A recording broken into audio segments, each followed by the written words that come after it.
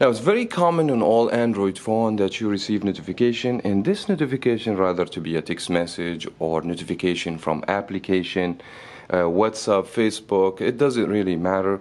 You get to see that notification here and check what you have on your device. Now, what happened if by accident you got a bunch of notifications and something you missed was very important to you?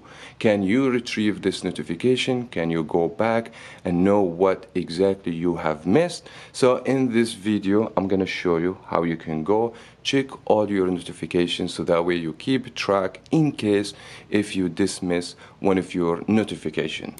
Make sure to subscribe to Varieties Teck if you haven't, give me thumbs up, and without any further ado, let's find out.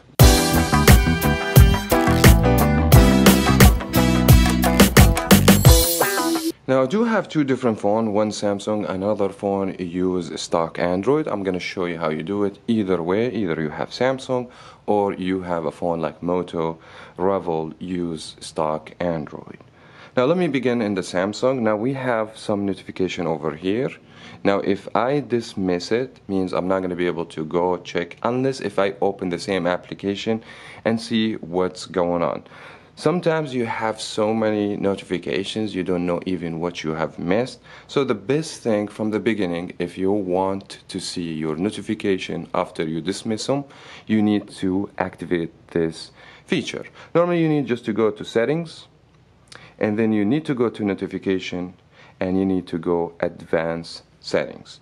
Now you're going to see something called notification history. You need to tap here and make sure this feature turned on. Because that way from now on the phone will keep all the notification you've missed on the same category here. You will be able to go and check all your notification.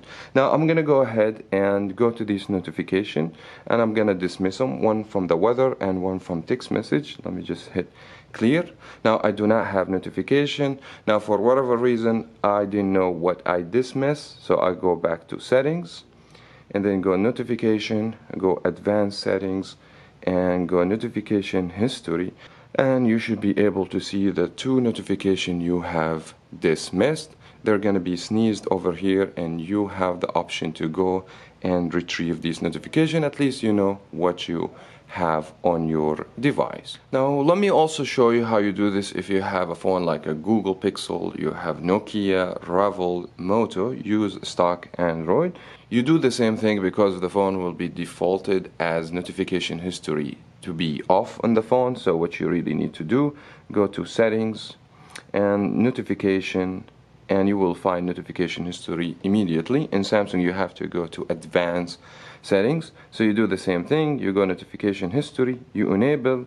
Now, once it's enabled, we have some notification here. If I dismiss all of these, and I want to go back and see this notification, I go and do the same thing. I go to the settings, then I go to notification, and then notification history, and I should be able to see all these notifications. Now, if you don't like to be tracked, just leave this notification history off, and you should be good to go. Once you dismiss all the notification, you should be good to go. I wish you guys find this video helpful. If it did, you can give me thumbs up, encourage me, subscribe to Varieties Teck if you haven't for more video and tips on phones in the future. Thank you so much for watching and we will talk to you in the next video.